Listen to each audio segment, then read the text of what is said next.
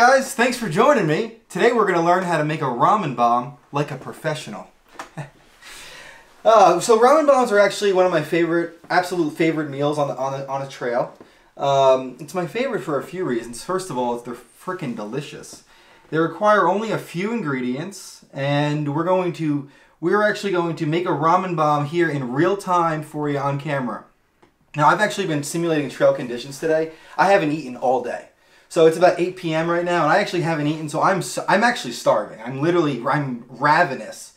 So I, I'm actually bringing out a little. I'm actually bringing out a little treat for myself tonight. So in addition to the normal ingredients in a ramen bomb, you got your instant mash and you got your ramen noodles, and we'll go over those in just a moment. I'm also going to be adding a little bit of spam and an egg.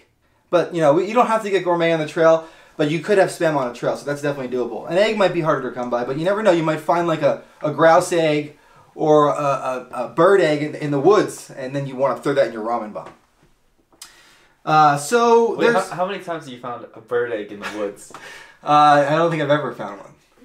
But you never know. And then the other thing about ramen noodles, dude, the other thing about ramen bombs, they're fun. You, you want to have fun with a ramen bomb, you know? So you, get, you definitely want to, want to take your base ingredients, your, your water, your instant, your dehydrated mashed potatoes. Idaho brand would be the best because Idaho makes the best potatoes in the world, obviously. And then uh, you, you're going to want your ramen noodles. But in addition to those, you might find wild onions. You might find morels. You might find uh, other veg- ve- edible vegetation around. Trout. Trout, perhaps, if you can find trout, for sure. Um, and then what you're going to want to do is just throw that in there, boil it up in the water, and then and then eat it. Now, another actually, I should grab the peanut butter because the peanut butter is another good hack. Let me, let me just real quick grab the peanut butter, actually.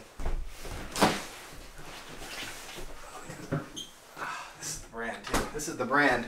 And if you're to go peanut butter, I mean, on the trail, you know, you got to stick, keep it cheap, and you want to keep it probably to plastic bottles, but at home, we, you know, we have a little more, we have a higher scale of food, so we're going with an all natural peanut butter. This stuff is fantastic.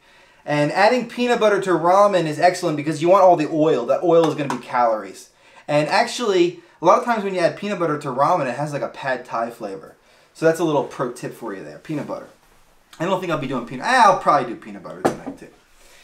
Okay, so when you're dealing with ramen noodles, the, the most common way to get ramen noodles would actually be just to buy one of these pre-packed uh, ramen. Maruchan Ramen uh, and, and Top Ramen are two of the more popular brands, but but really, you can just buy the noodles packaged by themselves for a much cheaper. These are actually only about 20 to 25 cents a pack usually, unless they're marked up in some small town.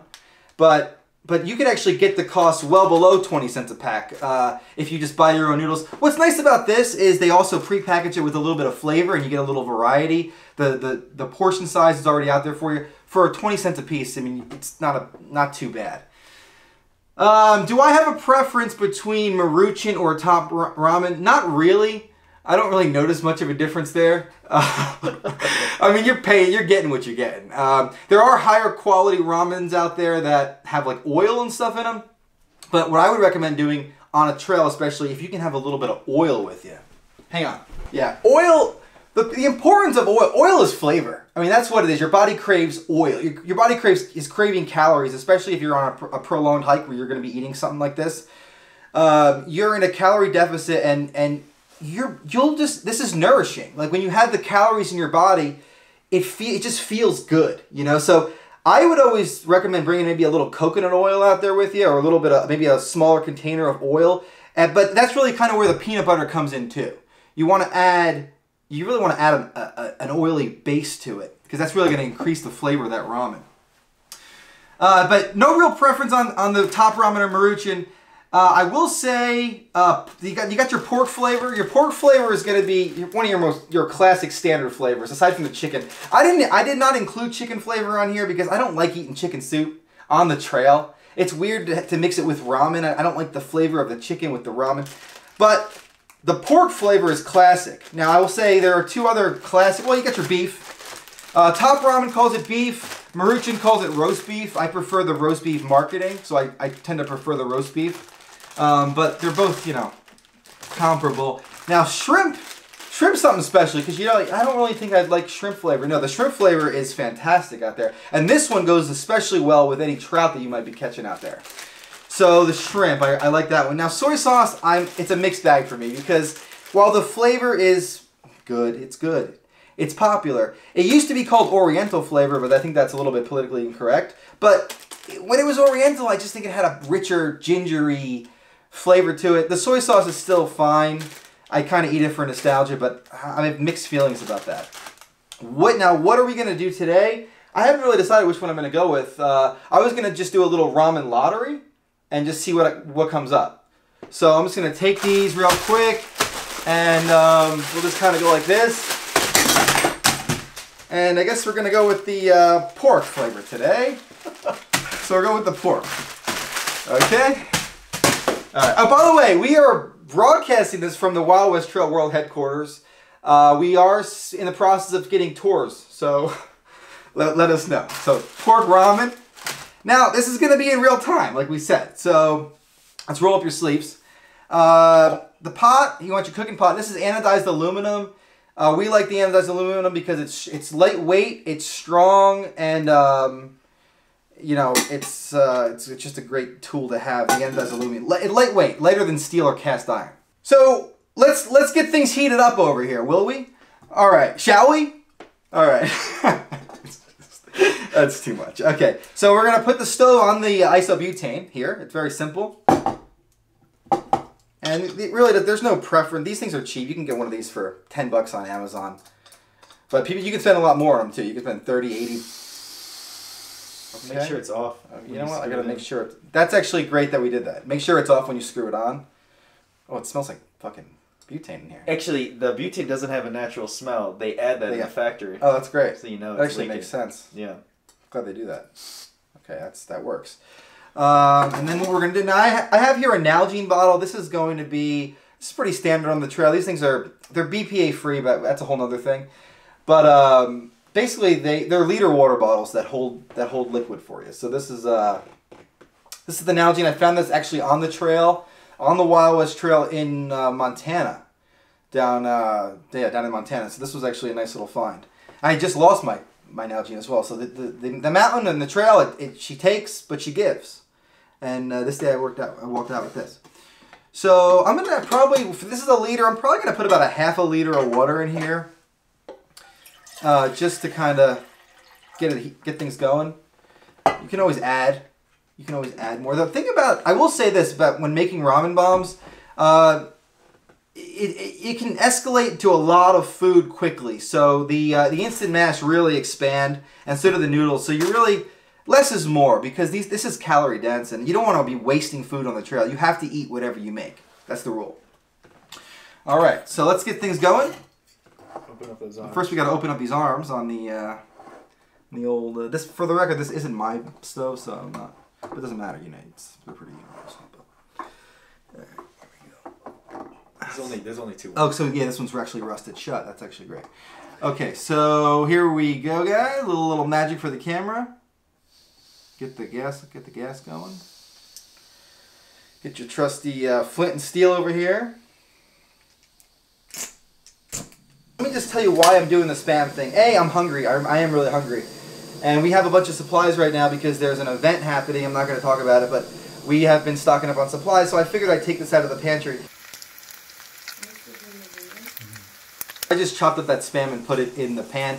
It honestly looks nasty. It, it looks disgusting. Um, we'll see how it goes. And, and actually, another thing, now that I put the spam in there, I remember that's a lot of spam in that can. And when I when I was on the trail, I remember it was even too much for me to eat on the trail. It was like a lot of it was a lot of spam. So there's really keep that in mind if you're going to go go the spam route. All right, so Magica TV got a little spam right over here. All right, and. Uh, this is just about ready to go. We actually had to slow it down. This boils up real quick.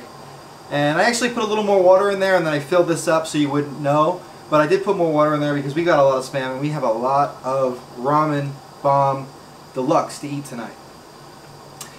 Alright, so this is just about to boil and um, that's the exciting part. What we're going to want to do here is once this hits, and honestly, you can put this in before the boil. If you're actually crunched for time, which you probably are on a hike, you can put this in even before it's boiling, and then just get yourself a head start time.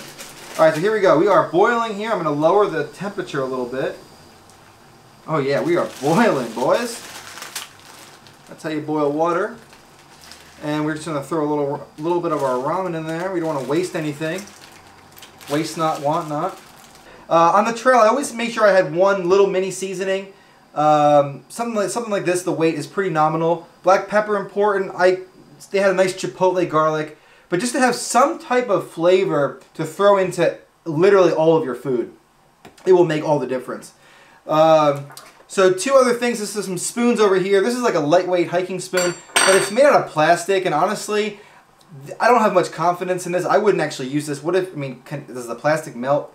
So I, that's trash. I will be using a metal spoon, and uh, they sell hiking metal spoons that are like titanium, um, lightweight. Stay away from the spork. Sporks really don't make much sense. You're better off going with either a, a fork or a spoon. I think go with the go with the spoon, right? You gotta go spoon. Yeah, well, you can get every crack of the pan. And, and, the, the problem with the spork, you lose surface area. You can't get as much liquid in your mouth. Mm-hmm. Right? I think go with the spoon. There's a reason why no one uses sporks in the real world. Yeah, sporks don't make sense. Good idea though. Perhaps. On paper. Like On paper. Yeah. Doesn't work in the real world. All right, so here we go. And honestly, and this has been there for what, about a minute or two, it's starting to already, and it really it's all your consistency. If you want a little al dente, cook it less time. Um, but we are basically almost there. And then uh, right at the end here, we are going to put our pork flavor in. Our pork flavor. Now, I think there's real bone marrow in this, which I think gives it a richer flavor. I could be wrong about that. The beef one. The beef one has the bone marrow? Mm. Yeah, well, in any case. And uh, you always want to work up an appetite. Generally on, on trail, you're going to be hungry, but if you're not hungry and you need something to kind of help get the uh, get the old hunger going, we do sell the Trailblazer. It it it's fantastic. It just gets you in the mood, gets you ready to eat, and um, and that's all I'll say at the moment. But please, if you like to support the trail, definitely pick one of those up. There, such high quality. Oh yeah, this is this this is. I mean, this is ramen here. This is good. This is looking nice. So I'm gonna cut this off. Actually, that's right about where I like it. Oh yeah. Oh yeah. Now that's that's a bowl of noodles, and uh, not much to, to look at, but watch what we do here. This is the fun part, guys. Well, the fun part's eating it, but this is also kind of fun. Oh, you throw in that pork flavor. You throw that pork flavor in there. Oh yeah. Maybe give it a little mix. Oh yeah, you can smell it. Whew, I don't know. There might be there might be uh, bone marrow in there. There's some real rich flavor. I'll tell you what, that, that's a good flavor, the pork. And now, this, now we're just going to throw in our, de our dehydrated potatoes. And basically do it to consistency. So I like to throw a little in. I like to throw a little bit in there. kind of mix it up and see how much you got. And remember, this is going to expand as it uh, as it soaks. So you, the, the, risk you run of putting too much in, it starts to dry it out. You, nobody likes dry mashed potatoes. This is actually looking pretty decent. I'm going to add a little bit more here, and I'm also going to add a little bit of oil. Just a little bit of oil to add some flavor here. Now, the thing is, too, that spam is going to have a lot of fat, so that's really going to add something as well. And we're going to throw a little more of these Instant Mash in here, just to kind of get that going. And here we go. It looks pretty decent, actually. starting to look pretty good. Oh, yeah. Oh, yeah. And then a little bit of meat. Now, yeah, a little bit of meat, little treat. Well, that looks fantastic. We'll throw that egg in there, too. That, that egg. Get in there. Yeah. All right. Now, look at that. That's, that, I'll tell you right now. If there a little seasoning in there, a little more seasoning there, you can never, and honestly, you can never have too much seasoning. You want to go over seasoning this stuff. And, um, oh God, I gotta be honest with you, this is looking pretty good. this is looking pretty good, guys. Hey, are you guys hungry? You want to try a little bit of this? All right, here we go. I'll tell you right now, that's that's a nice consistency right here. That's a nice consistency, but I could even see going a little thicker, but that's pretty nice. That's pretty nice. And that's going to be pretty darn filling. I, I couldn't even eat, I bet you I couldn't eat this whole bowl right here. Well, maybe. We'll see. All right. Well, the final thing we'll have to do a taste test. I'll have to try it out and see how it is. Let's try it out here, guys. Let's see what we got. A little hot. You want to get a little spam? Definitely get a little egg in there. Yeah.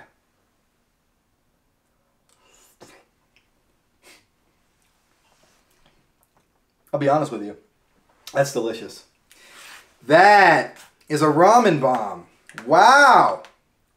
The oil, the spam. Yeah. This is delicious. I tell you right now, it holds up. This holds up, guys. Well, guys, uh, thank you for joining me. Thanks for joining me today. Where's my... That's weird. By itself, it's weird. Yeah. But thank you for joining us today at the Wild West Trail and learning how to make a ramen bomb. I hope you will try this. I hope you will be as excited about this meal as I am because uh, honestly, a ramen bomb, especially on a trail, is really hard to beat, guys. And remember, if you like our video, please share, please subscribe. It really makes a difference for us. Uh, but thanks again, and bon appetit. That's fucking. That sticks to your ribs, huh? Oh, yeah.